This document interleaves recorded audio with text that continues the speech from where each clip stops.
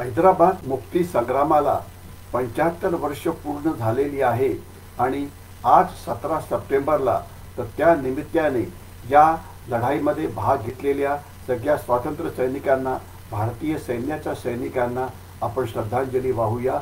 कारण ज्यामुळे हैदराबादचं जे संस्थान आहे ते स्वतंत्र झालं आणि त्याचं भारतामध्ये विलिनीकरण हे करण्यात आलं. आज मी ज्या विषयावरती बोलणार आहे हैदराबाद भक्ती संग्रामाच्या निमित्ताने अनेक लेख पब्लिश झालेले आहेत. परंतु यामधील फक्त जो सैन्याचा जो सहभाग आहे ज्याला ऑपरेशन पोलो असं म्हटलं जातं त्याविषयी मी आज फक्त बोलणार आहे. ऑपरेशन पोलो हे भारतीय सैन्याने राबवलेलं एक अभियान होतं ज्यामुळे ज्यामध्ये भारतीय सैन्याने चार दिशेने हैदराबाद संस्थानावरती निजामाच्या फौजांवरती रजाकारांवरती हल्ला करून हैदराबादला स्वातंत्र्य मिळवून दिलं आणि भारतामध्ये त्यांना सामील केलं. तर यामध्ये भारतीय सैन्या सैन्याच्या जवळजवळ चार डिव्हिजन्सनी भाग घेतला होता थर्टी वन आमदेवनी भाग घेतला होता आणि या युद्धाकरता नेमका आपला प्लॅन कसा होता हे युद्ध कसं झालं यामध्ये वेगवेगळ्या लढाया कशा झाल्या या सगळ्यांवरती आपण बोलण्याचा प्रयत्न करू. सुरुवात करूया. पहिले ऑपरेशन पोलो ज्यामध्ये ज्यामध्ये ज्या वेगवेगळ्या कारवाया कारवाया झाल्या त्याविषयी आपण पहिले बोलूया.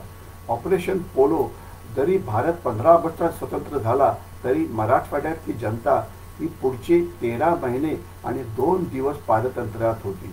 आणि पंधरा ऑगस्टच्या नंतर ही स्वतंत्र भारताच्या नकाशामध्ये हैदराबाद राज्य एका बेटासारखं होते. आणि निजामाचे गुंड खास तर रजाकार वगैरे त्या तिथल्या लोकांवरती अत्याचार करत होते.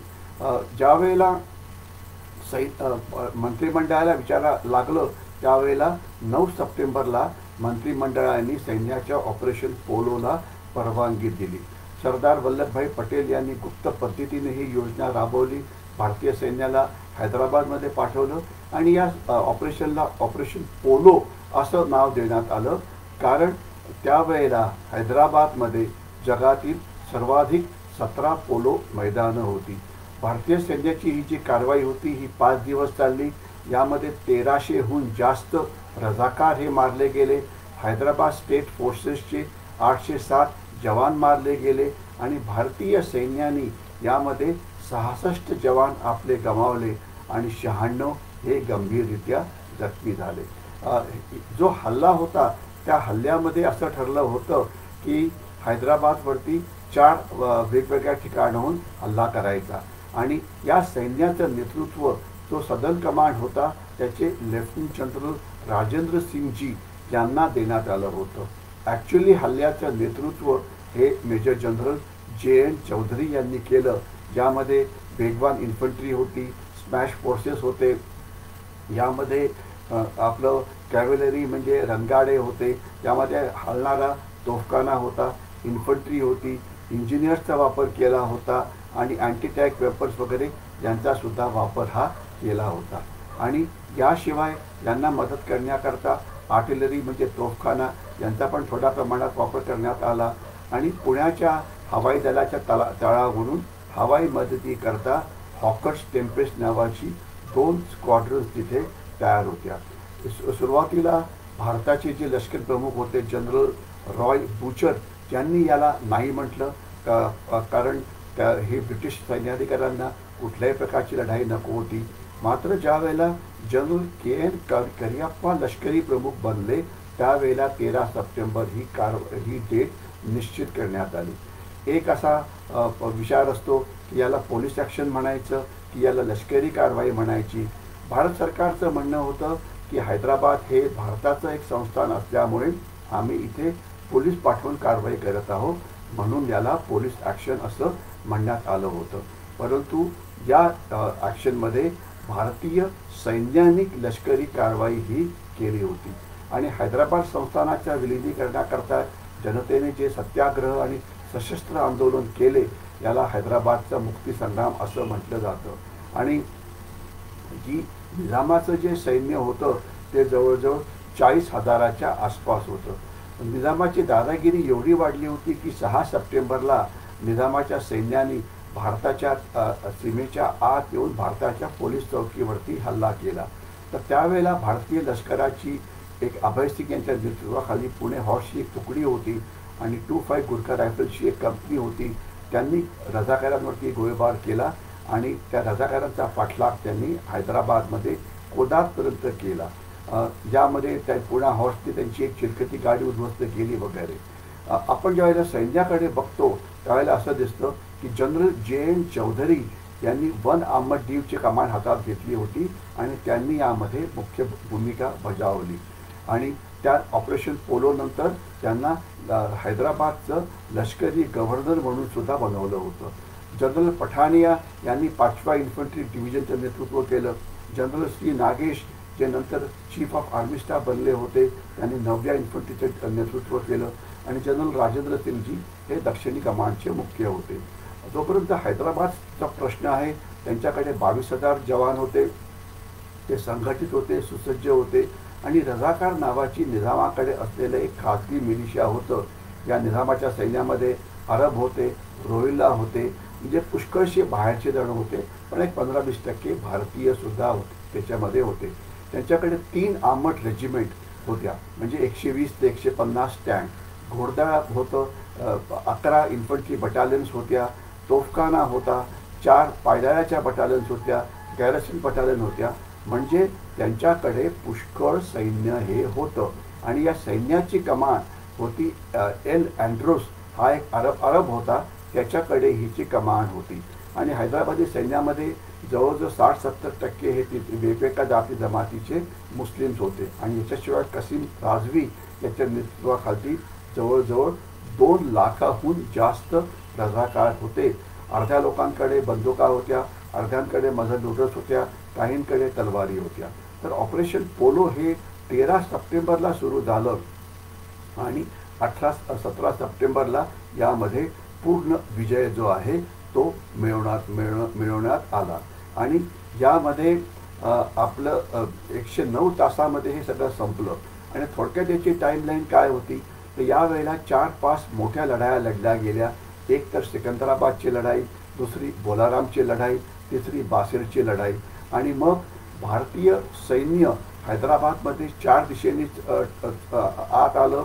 करेक्शन पाच दिशेनी. वायव्येकडून औरंगाबादकडनं आलं पश्चिमेकडून सोलापूरकडनं आलं ईशान्येकडून आदिलाबादकडनं आलं दक्षिणेकडून कर्नूलकडनं आलं आणि आग्नेयेकडून विजयवाडाकडनं आलं. तर पाच दिशेनी हे काम सुरू झालं. पहिली लढाई तुळजापूरला झाली. तुळजापूरच्या जवळ सिकंदराबाद रस्त्यावरती नळदुर्ग किल्ल्यावरती निजामाची बटालन होती. तिथे मोठी लढाई करण्यात आली. तिथे जो नदीवरचा जो पूल होता तो उडवण्याचा प्रयत्न निधर्माच्या सैन्याने केला होता. परंतु आपल्या माइन पॅराफील्ड टेन फील्ड या सगळ्या लोकांनी तिथे लढाई केली आणि निजामाचा जो तिथला प्रतिकार होता तो संपून गेला. मग नंतर परभणी जिल्ह्यात प्रवेश झाला.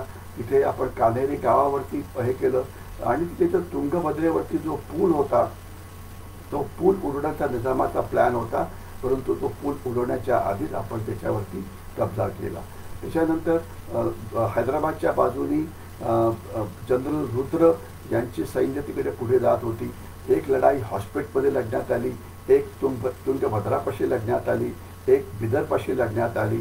म्हणजे निजामाच्या सैन्याला आता चारही बाजूनी वेढण्याचा प्रयत्न केला होता. नंतर सैन्याच्या लढाईच्या दुसऱ्या दिवशी चौदा सप्टेंबरला जे उमरगा इथे आपलं जे सैन्य होते ते राजेश्वर सैन्या शहराकडे निघालं. त्याच्यावरती निजामाने हल्ला करण्याचा प्रयत्न केला परंतु तिथे गुरखा रायफल एट कॅव्हलरी यांनी मोठा प्रतिहल्ला करून त्यांना हरवलं. जनरल ब्राड यांच्या नेतृत्वाखाली औरंगाबाद शहरवरती शहर कॅप्चर करण्यात आलं. जालन्यामध्ये लढाई झाली जिथे तीन शीख दोन जोधपूर लाइट इन्फंट्री अशा लोकांनी भाग घेतला. चौदा सप्टेंबरला दौलताबादचा किल्ला होता. त्याच्यावरती हल्ला करण्यात आला. तिथे रझाकारांची तुकडी होती. जालन्याला मुक्त करण्यात आलं. आणि सोलापूरकडून निघालेल्या तुकड्या सिकंदराबादपासून अर्ध्या रस्त्यावरती पोहोचल्या. मग जालना शहर कॅप्चर करण्याकरता ती थ्री इलेवन गुरखा रायफल्सला तिथे सोडून बाकीचं सैन्य लातूर आणि मोमिनाबाद इथून पुढे जायला लागलं. हवा मध्ये निजामाने हल्ला करण्याचा प्रयत्न केला. त्यावेळेला भारतीय एअरफोर्सच्या यांनी सुद्धा हल्ला केला. हैदराबादवरती आणि निजामाच्या एअरफोर्सवरती त्यामुळे त्यांची त्यामधनं हवाच निघून गेली.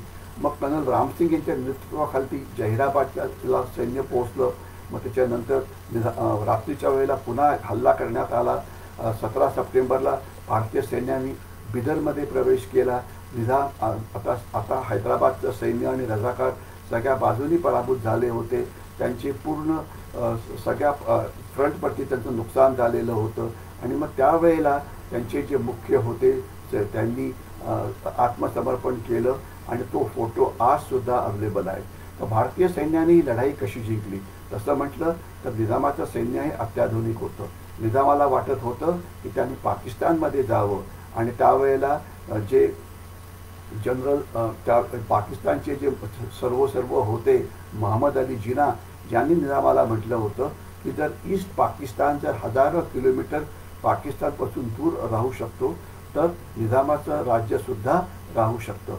पण निजामाने थोडा हावरटपणा केला. त्याला स्वतंत्र देशाचं नेतृत्व करायचं होतं. आणि नेमकं त्याच्या युद्ध सुरू व्हायच्या थोडे दिवस आधीच महम्मद अली जिना यांचा मृत्यू झाला. आणि त्यावेळेला सरकारला वाट वाटत होतं की अरे निजामाचा मृत्यू झाला. आता आपण पुढे लढाई करू नये. परंतु भारतीय परंतु भारतीय सैन्याने त्यावेळेला आपल्या आक्रमक कारवाईला सुरू केली होती. सरदार पटेल म्हणाले की आता ही लढाई मला थांबवणं शक्य नाही. म्हणजे आपल्याला थांबवण्याचा प्रयत्न आपल्याच लोकांनी करण्याचा प्रयत्न केला पाकिस्ताननी करण्याचा प्रयत्न केला युनायटेड नेशन्सकडनं आपल्यावरती दबाव येत होता आणि हैदराबाद स्टेट फोर्सचं लढाई करता हे तयारच होते. परंतु अतिशय वेगवान अशी कारवाई करून भारतीय सैन्यानी या सगळ्यां या सगळ्या सैन्याचा पराभव केला. लक्षात असावं की भारतात म्हणजे शिवाजी महाराजांनी महाराष्ट्रामध्ये स्वराज्य स्थापन केलं. त्यानंतर पेशव्यांनी त्याला खूप पुढे वाढवलं. परंतु आपला काही भाग होता तो दोनशे तीनशे वर्ष निजामाच्या खालती होता ज्यामध्ये मराठवाड्याचे सहा जिल्हे हे सामील होते. तर मग असं म्हणता येईल की सतरा सप्टेंबर एकोणीसशे अठ्ठेचाळीस साली खरोखर मराठवाडा हा मुक्त झाला निजामाच्या तावडीपासून. तर त्याच्यामुळे ही लढाई अत्यंत महत्त्वाची होती आणि यामध्ये भारतीय सैन्याने आपलं रक्त सांडून आपल्या प्राणाचे बलिदान दिलं होतं. अर्थातच याच्या आधी अनेक स्वातंत्र्य सैनिकांनी खूप चांगलं काम केलं होतं. त्याविषयी मीडियामध्ये पुष्कळ कव्हर करण्यात आलेलं आहे. परंतु ऑपरेशन पोलो जे सैन्याने चालवलं होतं त्याविषयी पुरेशी माहिती उपलब्ध नसल्यामुळे मला वाटलं की याविषयी जी नेमकी जी कारवाई झाली त्याविषयी बोलावं आणि त्याविषयी सगळ्यांना सांगावं. पुन्हा एकदा हैदराबाद मुक्ती संग्रामामध्ये ज्यांनी आपल्या प्राणाचं बलिदान दिलं त्यांना पुन्हा एकदा अभिवादन करून मी आजचा कार्यक्रम थांबवतो. जय हिंद.